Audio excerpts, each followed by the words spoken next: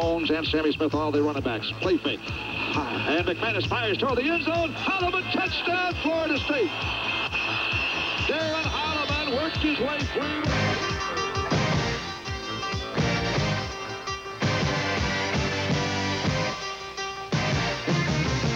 The Bobby Bowden Show is brought to you today by your Florida and South Georgia Ford dealers, home of best built American cars and trucks. By Hardee's, where good people go for good food. By Blue Cross Blue Shield of Florida. We hear you, and we're working on the answers. By Lykes Brothers, makers of quality meat products for your family. By Dairy Farmers Incorporated, local producers of real, fresh Florida milk. By Frito-Lay single serve snacks, 42 different varieties guaranteed fresh. By Sunbanks, the bright way to bank. By Gulf Power, the good sense people. And by Seminole Boosters Incorporated, the team behind the teams at Florida State. Now, here's Gene Deckerhoff and Florida State head coach Bobby Bowden. Hello once again. Another exciting Seminole season is off and running. The Florida State Seminoles successful in their opener for the ninth consecutive season. Coach Bobby Bowden, Florida State played Tulane in the Superdome in New Orleans. Yes, there's a nice crowd there, and uh, the weather was good in the dome. But uh, we got off to kind of a shaky start and laid the ball down early, and uh, but then I thought we came out of, of it real good. Uh, uh, the effort of our kids was excellent, and I was very pleased with them. Bobby, I know opening games are always difficult. You never know what's going to happen. Uh, everything uh, going into the Superdome, uh, I know you were worried about the ballgame. I don't like. I never like play openers because you don't know what the other team might have changed over the summer. And so we had to do a lot of guessing against Tulane, and we're going to have to do the very same thing against Nebraska this week. Florida State beating Tulane 38 to 12 in the season opener in New Orleans. We'll come back and look at the first half highlights in just a moment.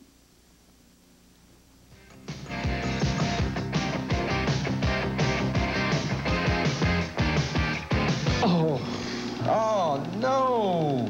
How did he get back there? Look, work on that again tomorrow, here. Coach, I brought the stuff you wanted. Well, Somebody finally got something right.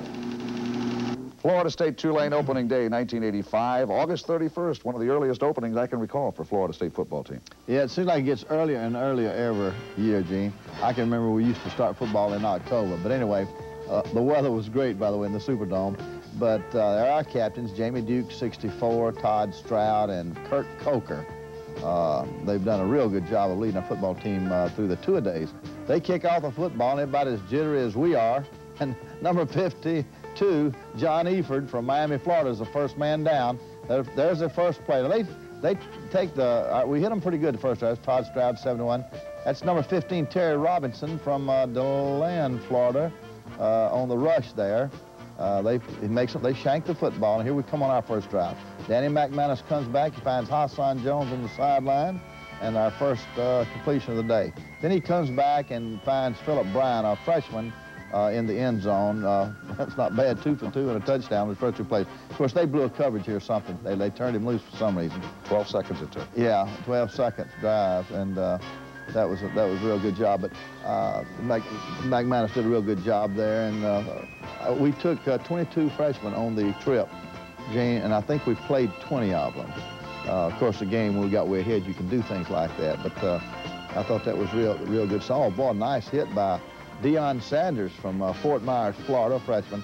Now they they they take this drive and score. Do a great. McMahon did a great job of. that was a great hit by uh, Gerald Nichols, who, just really keeps getting better. But they, they, they come down and score. There's Deion Sanders again defending. Uh, they put some plays in for us. Again, this is why you hate to open with people. They can put things in. I mean, they knew about us, we didn't know about them.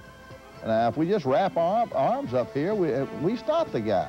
If we'd held him a little bit longer, we could have got everybody there and stopped him. But over anxious, uh, that's what it'll do. Okay, now you got a 7-7 uh, ball game, a team we're supposed to winning what beat. Now, next next quarter is very frustrating for us. We go down inside the 10 twice and fumble time, both times and turn it over. Now, here we make a nice run. Here, oh, uh, uh, Chuck Wales from Orange Park, Florida, uh, makes a nice gain there, but we get a, we get a penalty for holding, 15-yard penalty, and we can't overcome it. And so uh, Lewis Berry from Panama City punched the football, and I think that's Terry Warren there from Titusville on the recovery. Terry's making some real fine improvement. Look at old Isaac Williams, number 47, 5 there. And always a blitz by a freshman, uh, Felton Hayes, uh, from Tampa, Florida. And uh, we punt the, they punt the football, and we got a good bounce on it. Here's McManus back to pass, and he hits Tanner Holloman. That's that's Darren's older brother. You used to say so-and-so's younger brother, but that's his older brother. I want a nice play. There's Herb Gainer. Herb did such a great job of coming in, filling in for Hassan Jones, who got injured early. And there's McManus showing some real good quickness on the uh, running the ball. Uh, Mac McManus, if you're watching these films, I think you'll see excellent quickness and a real quick release. He's got he's got the Jimmy Jordan release. Watching here as he releases the ball. A little snap, and there's number three again, Herb Gainer again, coming in. Herb, if you'd have spun outside there, I believe you'd have scored, like Coach Eason told you to. Okay, there's uh, some good running by Cletus Jones, a senior fullback, and here's Chuck Wells. Uh, again, this is his first shot at. Now you can tell he's more of a fullback type runner. And uh, here's his inexperience showing here. Look at he fumble a football. That's the that's the uh, first time we fumble down inside the 10. Now we come back and do it again. We're pretty, we stay pretty even. We let everybody do it every now and then. And uh, oh, that's a nice hitting again by Isaac. And number 32 there, Mark Mayhew. Oh, we would have blocked, Terry would have blocked the punt, but we lost contain. Of course, he, he can't contain and block it, but somebody that kept contain there, we'd have had, we'd have had a dead gum setback. Deion Sanders returning. Now here's uh, McManus back again. Look at him move around. I, I, like that about him. And he finds my little Darren Holloman uh, in the end zone. Now here's a fake to Sammy Smith, number 33. And uh, again, this is a in, inside the huddle shot of uh, the, the, same pass to Darren Holloman. Number 85 there is Pat Carter from Sarasota, Florida. And here's Cletus Jones running a misdirection play, and we pick up a few yards. And here's a pitch out to Sammy Smith, who, who, who uh, I thought I thought he did a pretty good job as a freshman. Yeah, I'm, I'm, I'm glad he got started like he did. And see, there's our second fumble inside the 10. We'd have been in pretty good shape had that out happened. More, our defense was very alert, though. Terry Warren again, and 38, Paul McGowan, a sophomore from uh, Winter Park. So I'm, I'm very pleased with. As I said, we played a bunch of freshmen yesterday, and uh, that might catch us somewhere down the line. There's old Sammy Smith taking it up inside again.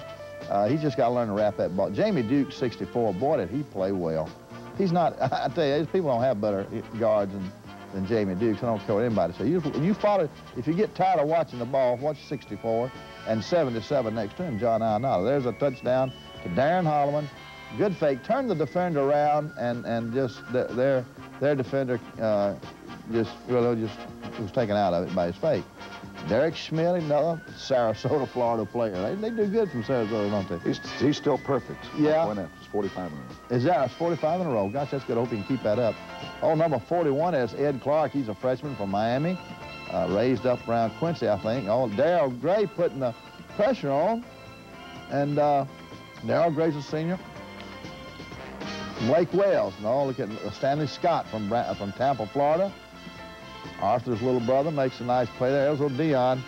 And uh, we either got to handle those kind of get away, but he, he did get away from it. But now we, come back, and I, I, did a I did a dumb thing, or we did it. Uh, no, I did it. Call that play there. And but Danny McManus at least instead of giving them seven, we only they only get uh, two out of it. They come back and get a field goal. But I should, that play should not have been called, and it was called by me. And uh, uh, option down on the eight-yard line with a freshman in there that's not used to that. But they come back and kick a 51-yard field goal. They got a fine young uh, rookie field goal kicker, but we got pretty good one, too. At halftime, Bobby, it's 14 to 12. The Seminoles have been inside the 10 and fumbled it away.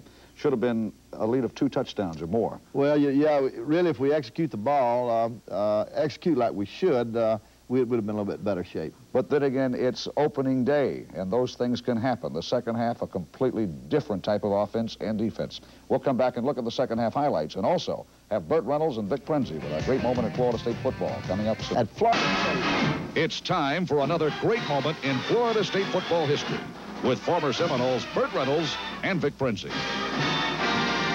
Burt, 1977, Florida State got an invitation to play in a Tangerine Bowl against Texas Tech. It was an important game for Bobby because Bobby had just come, uh, this was his second year there. Absolutely. And he had turned the program completely around. Uh, and, and to a lot of people, uh, had, to, uh, had to be eating a lot of crow. Crow was being served uh, uh, over in Gainesville every day at lunchtime. And a lot of people just didn't realize that, that, that a man could come in uh, to a program that had lost 11 games, 10 games, 11 games, uh, almost, uh, well, three years before that. That's correct. And turn the program so completely around. Uh, it, it, just bespeaks so much uh, about Bobby Bowden, about what kind of an individual he is and what kind of a coach he is. Game started out, Dave Cappelen uh, kicking a field goal, put the Seminoles up top. Bang, all of a sudden, down comes Texas Tech, and they hit a field goal, and they tie the ball game. Yep. I think that made one individual a little mad. Yeah, uh, a, a, guy that you, you just bring your keys when you come and watch him play, and you rattle him a lot, and he gets real excited. And uh, he grabbed the kickoff and just went for six. Larry Key. Larry Key, 96 yards on the ensuing kickoff to send the momentum to Florida State's favor. Of course, during that ball game, we know that Roger Overby had another good ball game. Right, uh, and we were alternating quarterbacks. Alternating quarterbacks, along with uh, Wally Woodham and uh, Jimmy Jordan. And that spelled the doom for the, the Red Raiders from uh, Oh, boy. Tech. Oh boy, and Mr. Bowden, Coach Bowden, as the chimes ring, was uh, was the selected uh, All South uh, Coach of the Year. Independent team. Coach of the Year in that Yeah. year. And Florida State uh, wound up at the, I believe, uh, they were ranked 11th in the UPI and 14th by the AP. So 1977 Tangerine Bowl, Florida State, Texas Tech. Florida State, of course, coming out on top. And the beginning for Bobby Bowden. Join us again next week for another great moment in Florida State football with Burt Reynolds and Vic Prinzi. All the excitement of Florida State football is available without charge at your nearest Sun Bank, featuring Seminole Uprising, the 1984 Seminole Highlights film. Call your Sun Banker for details. Travel arrangements. Florida State football back in 1977 with Burt Reynolds and Vic Prinzi, and a lot of great moments, Coach Bowden, Saturday afternoon in the Superdome. I'll tell you, when those two get together, there's going to be some heaviosity going on in it. All right, here's the uh, return kickoff with uh, Keith Ross, a freshman, uh, who I didn't think was going to play Saturday, but Bill Sexton put him in there and he did a good job. There's a pitch to Sammy Smith uh, from Apopka, Florida. And here's a reverse throw, uh, Darren Holloman, who I think is the best reverse runner we've had at Florida State. And we got some guys out there leading, but nobody's knocking anybody down. Uh, Danny McManus blocked his man. Everybody else thinks they're out there, I think, trying to run a pattern. I guess they thought they were clear, and he thought he'd throw on the ball. But uh, we, if we hit knock some people down, down that play go all the way. All right, McManus back again. I think who's he going to find here? Always little Darren Holloman again, little jitterbug coming across the middle. There's a 63 down there throwing. That's old Mark Salva uh, from Winter Park. Nice shot to uh, Darren Holloman. You know, Darren's not very big, but you better wrap up on him because he, he's not coming down with the first shot. And there's Cletus Jones on a misdirection play, and uh, Herb Gainer down the end zone meeting him there. There's Salva 63, and big, big McManus sitting down there waiting on him.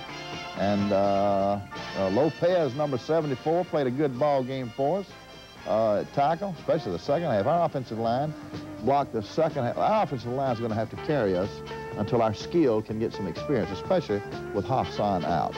I saw Tom O'Malley from Connecticut in there at tight end. Uh, Galen White. We played four tight ends yesterday. Hey, they run their reverse. Gerald Nichols had to change direction. Garth Jackson had a real good day for us on defense.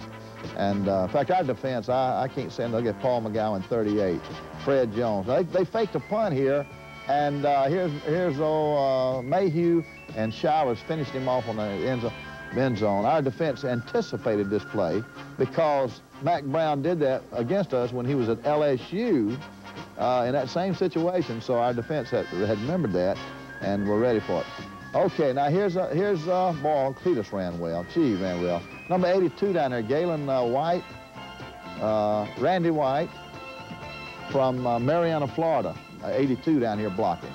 First game he got into. Got hurt a little bit, but uh, boy, he's done a real fine job. There's Sammy again, taking it up inside. Sammy's got some stuff. I think he's going to get better and better.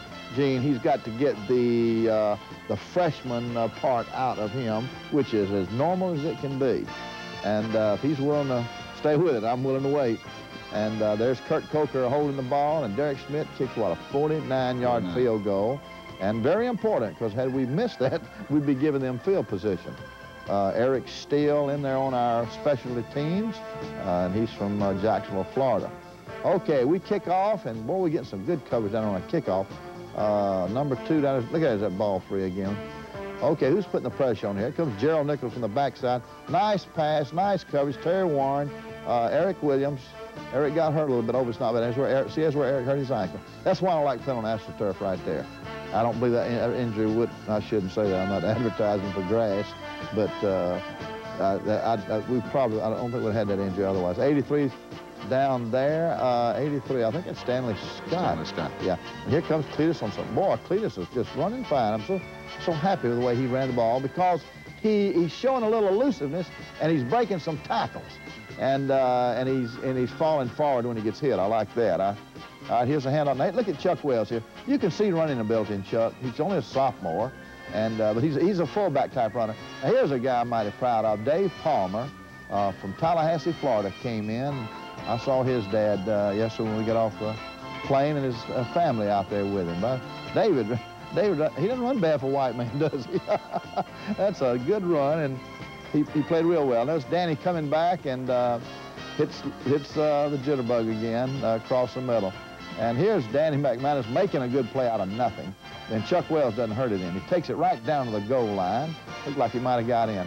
And so the fullback wanted that ball pretty bad. We had the option call, and he couldn't get it off. He couldn't uh, get it. Couldn't get his mesh off. So what, what's Chuck Wells? You think he's surrounded there? Look where he ends up.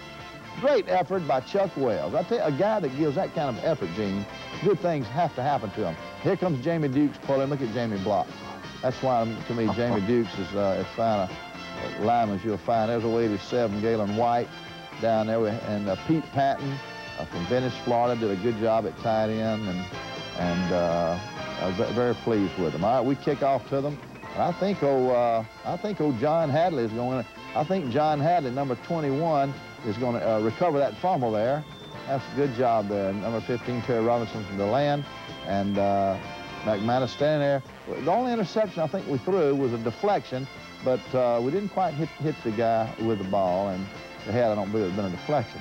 Oh, there's a Felton Hayes, uh, again, from Tampa, uh, Florida. I think he played at Brandon High School. Here's now Victor Floyd from Pensacola, Florida, uh, came in and played. So I was, we were scared to play him because if you notice his hands in the cast. But Dadgum, I believe he, I believe he fumbles less with it in the cast. There's another great throw by Danny. I thought that was Danny's best throw of the day because the pass was to the right, and he couldn't find it. Looked back to the left and caught Herb Gain over in the corner. And Coker puts it down. Marty Riggs snaps for our special teams, and boy, I was very pleased with the job he did there. And Shrinker, I thought, did a great job coming in for his first game at uh, Center Gene. 38 to 12 final score. The Seminoles shut out Tulane in the second half, and on four of your six possessions in that second half of play, you put points on the board. Well, we did, and then the- the other time, I think I had, a, I had some freshmen there that hadn't played, and uh, we've made some fumbles and things, but we got some good experience. We won the game, and now now we fix to go to war. By the way, 38 to 12 final score. Florida State defeats Tulane. The Seminoles are 1 0. Coming up next week, the Nebraska Cornhuskers will come back with a scouting. May I take your order, please? Okay, guys, what do you want? 66 right zig out, flare hitch and go. That's a quarter pound bacon cheeseburger, roast beef sandwich, fries, and a large cola. X angle end around pitch screen option. Hardee's Big Deluxe chicken filet and milk. Green left, 33, reverse, square out. A turkey club, hot dog, and iced tea. Coach, don't you guys ever think about anything but football? Three times a day, hon. Three times a day. Three over Tulane. This week, a big trip to Lincoln, Nebraska, and the Cornhuskers. It's never easy to play out there. it is definitely not easy to play in uh, Nebraska. They've got such great uh, football tradition, Gene. It is a pleasure to go up there. We'll be very excited until we kick off. This is the 1980 game against the Cornhuskers, and you get an idea of the, the crowd, the enthusiasm, uh, the sea of red. Yeah, you see This- all red, yeah. You'll see all red. They're a very poised football team. Uh, they always have uh, great, outstanding football players there. Tom Osborne, one of the fine football coaches in the nation. As fine a man as, you, you know, that's one of those guys you'd want your son to play for deals. And uh, so there's a great, I remember Keith Jones uh, making that interception there. And uh, this is uh, really my favorite win, I guess, of all time, Gene.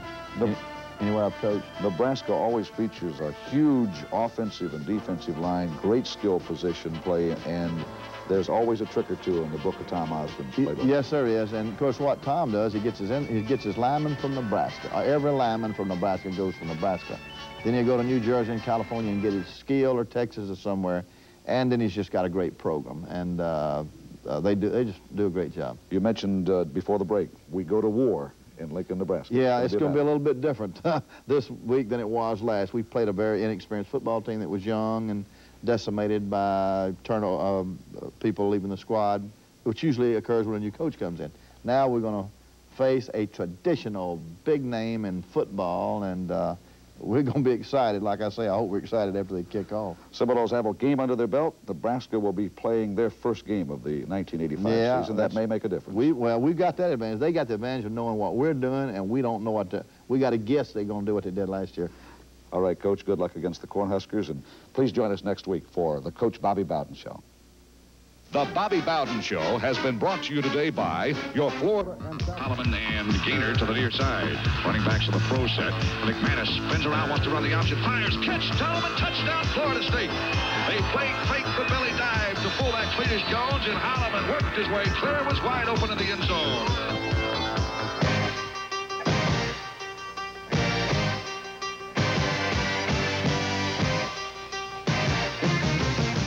The Bobby Bowden Show is brought to you today by your Florida and South Georgia Ford dealers, home of best built American cars and trucks.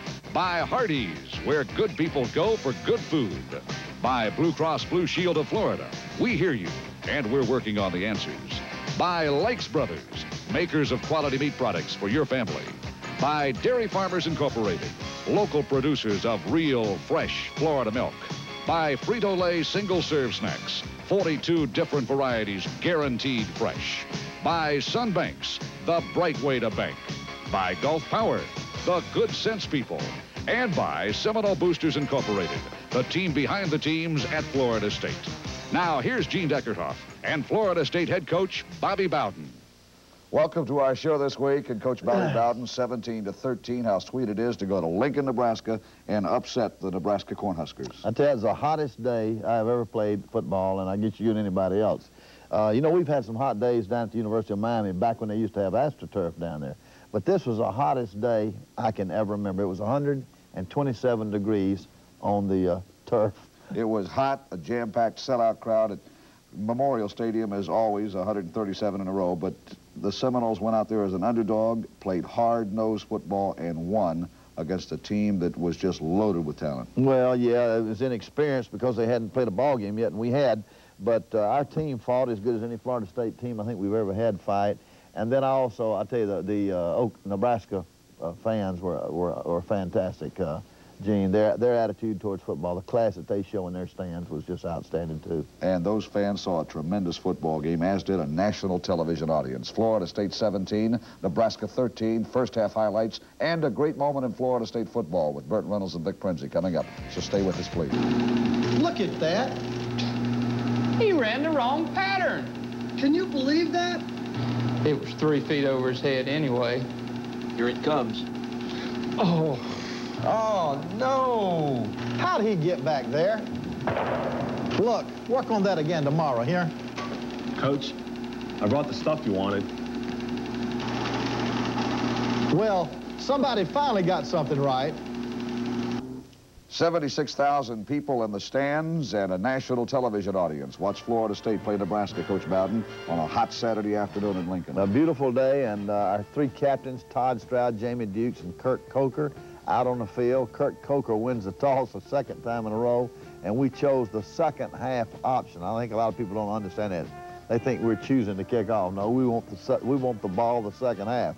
They take it, and our defense on the first play hits them for a loss. Shivers, a freshman, 55. Fred Jones, a junior from Miami, Florida. Showers from Tifton, Georgia. Well, the next play, they Showers again, 37, making a tackle, along with Greg Newell, number 40. And here's their quarterback running the football. There's old Martin Mayhew from Tallahassee, Florida. Gerald Nichols, number 79. Here comes, or see, Mayhew got screened off there by the official there. He might, I believe he might could have stopped that thing. I don't know. A great play by Nebraska. First, first to possession, they scored four plays. And, and I said, oh, Lord, it's going to be bad at this rate. But uh, our kids showed a little something, too. They kick off to us. Chuck Wells from Orange Park, Florida, receives the ball and runs it back. And old Kurt Thomas from Thomasville, Georgia, played some for us on the kickoff. And here comes my man running the reverse. Look at Jitterbug go. Gee, what a bug. He's, he is so quick. And McManus, there's Tony Smith from Miami, Florida. Tommy Harp in there at guard number 58 from Orlando, Florida. McManus, I thought, had another good ball game. He hits old Darren Holloman again on a play across the middle. He picks up another Florida State first down. This is a very important drive here. Watch Tony Smith on some very intelligent running. I thought he ran pretty good I, uh, for the first time in a long time that he's played well since the Citrus Bowl last year. Tony really shows some stuff. I, I was worried about his conditioning, and I'm always afraid a guy's going to fumble when he doesn't practice a lot. You know, he missed a week of practice and a little bit rusty, but I thought he did a heck of a job under. McManus to Chuck Wells. That was a third down and about 11, and we make about 12. A good play by Wells and McManus. Mac Manus, I thought, did another excellent job. John Ionata and David Shrinker played 60 minutes of football in that heat Saturday. And I'm talking about that's the hottest day I've ever been in my life. We were able to get everybody else in and out. Here's the touchdown pass, pass McManus to uh, Darren Holloman, and that ties the foot. That was a very important touchdown right there because they had just scored in four plays, and they had a lot of momentum. And we came right back. Guess Jamie Duke's leading that thing, and there's, there's, there's Lopez. I don't know if you watched old Lopez there or not, number seven.